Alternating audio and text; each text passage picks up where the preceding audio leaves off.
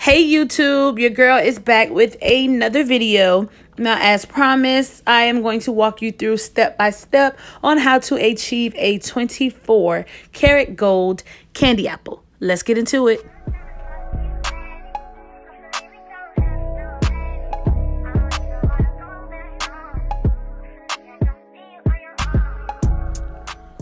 So today we'll be using a base white candy apple. Now you can use whatever color you like. Um, this video will not go over how to dip or clean candy apples. If you need that information, please reference to my previous candy apple videos so you can get caught up on how to make candy apples. But today we're just going to paint them gold. So here I have my white candy apples and the things you'll need is gold luster dust. A, I use a shot glass, a small cup. You're going to need food grade alcohol and a paintbrush. So you are going to pour a small amount of the luster dust into your cup. A little bit does go a long way. I didn't have many apples to make, so I didn't use a whole canister of the luster dust. And then you're going to add in the food grade alcohol by the capful because you do not want your solution to be runny whatsoever. That will cause your apples to remain sticky and the alcohol will not dissolve. Um, so yes, we want a very thick paste-like consistency when you pick up your brush. It should not drip.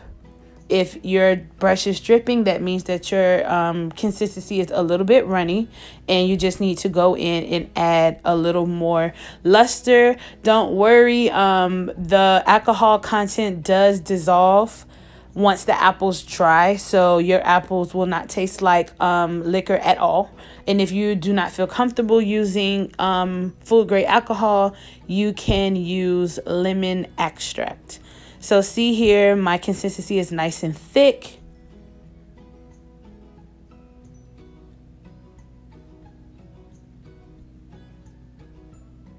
And there is no drippage.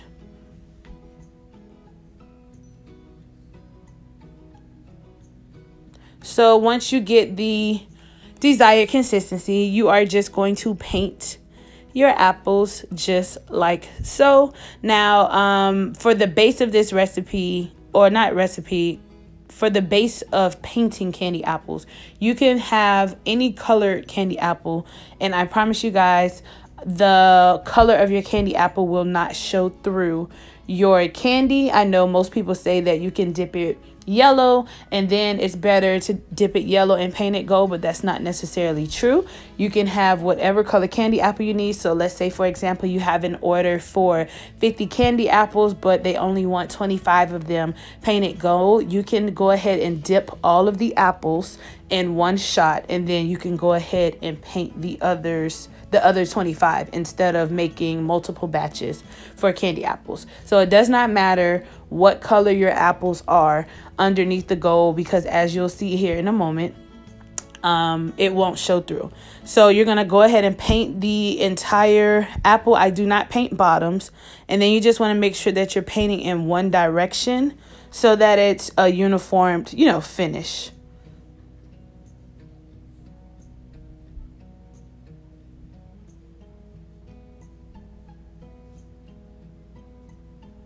So you can paint up, you can paint down, but it is wise to paint in one direction so that all of your brush strokes are uniformed. And I go around the bottom rim of the apple where the leftover candy has kind of spread out a little bit and I make sure that's painted. You do not have to paint the bottom of your candy apple, um, especially if you're bagging them because the bottom um, has a hard time drying um, if you're going to bag them up and then it's going to make your bag sticky and that won't be good for presentation purposes. So I just stick to painting the top of the apple and then if you have any candy on your stick, you need to go ahead and paint that gold as well.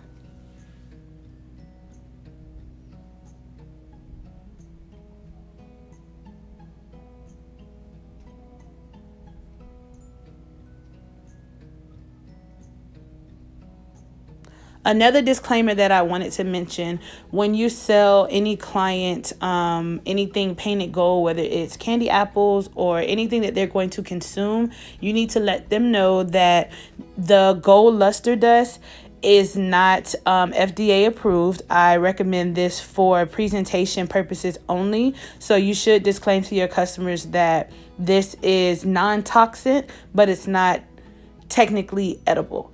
So, will anything tragic happen to them um, while eating it? No, but you just want to make sure that you issue that disclaimer. A lot of clients purchase these apples, um, you know, to kind of make their sweets table pop or just for um, the look of a royal sweets table. So, please make sure that you guys are educating your customers and you are not getting fined by the government. So in this particular apple, you see that I had like a small little hole that was from a bubble. So if this happens, do not panic. Um, more than likely, you'll be able to, one, cover it up with a bow, but you just take a smaller paintbrush and then you're going to paint the inside as well so it blends and is less noticeable. And then if you have leftover paint strokes, you just very, very gently brush them down and they'll blend in with the rest of the paint.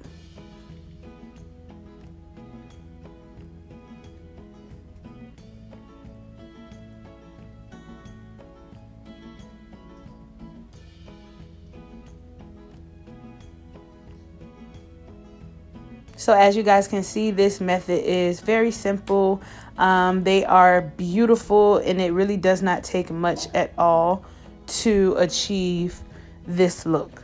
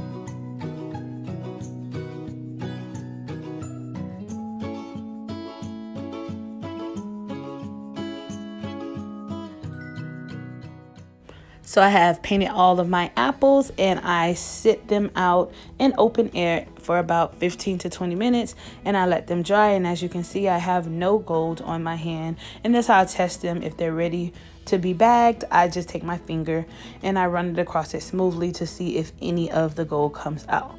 So I want to thank you guys for supporting another video. Hopefully you guys find this helpful and I can't wait to see you achieve your very own 24 karat gold candy apples. I will see you guys on the next video. Thank you.